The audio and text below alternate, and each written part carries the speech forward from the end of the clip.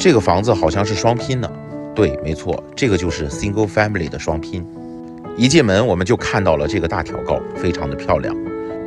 这个房子呢，它是位于城县的 Aliso Viejo 这个城市，四房三卫，两千一百六十五尺，是一栋不上市的房源。大家好，我是洛杉矶房产经纪 Chris 刘。为什么 single family 会是双拼呢？这个之前在朋友圈有过解释。